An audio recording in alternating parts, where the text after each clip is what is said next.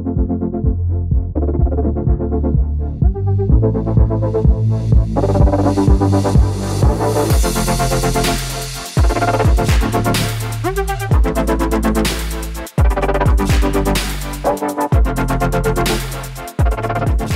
meinem Modul KI1 geht es um die Grundlagen der künstlichen Intelligenz als Teilfachgebiet der Informatik. Dieses Modul beinhaltet im Wesentlichen das Lösen von komplexen Problemen mithilfe des Computers. Wobei komplexe Probleme die Probleme sind, die bis jetzt nur der Mensch löst, mithilfe seines Verstandes. Was wir in dem Kurs zeigen können, ist, wie Methoden der künstlichen Intelligenz, einfach weil es so viele verschiedene gibt und auch schon seit vielen Jahren, wie sie einfach überall in der Softwareentwicklung angewendet werden können. Wie immer wieder, wenn ich eine eigentlich ganz normale Software schreiben will, Probleme auftauchen, für die die künstliche Intelligenz Algorithmen bereithält, mit denen man das clever angehen kann. Für meine Berufspraxis habe ich ein Verständnis entwickelt, was äh, unter der, der Motorhaube von Artificial Intelligence vor sich geht. Ähm, ich werde immer mehr mit Modellen in Kontakt kommen in meinem täglichen Berufsleben. Modelle, wo ich jetzt verstehe, was passiert und wo ihre Limitationen sind. Sie lernen aber gleichzeitig, dass es wie noch weitere Berufsbilder gibt, die möglich wären jetzt anzugehen. Berufsbild des Data Scientist zum Beispiel, was in den letzten Jahren aufgekommen ist.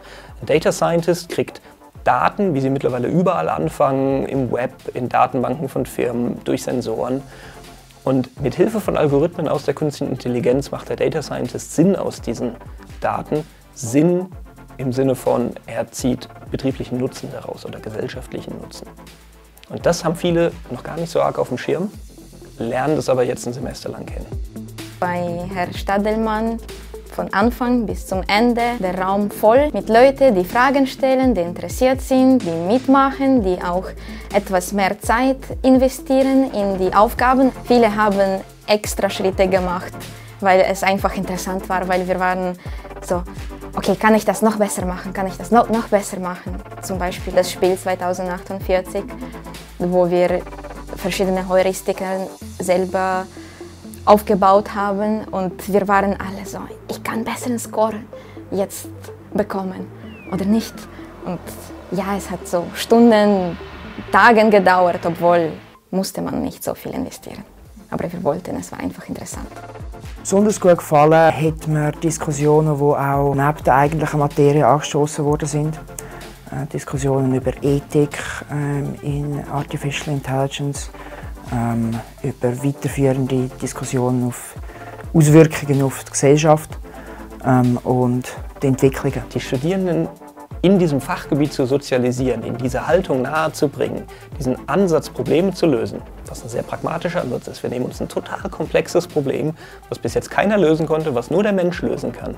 Und wir entwickeln Technologie, die dem für einen konkreten Anwendungsfall näher kommt.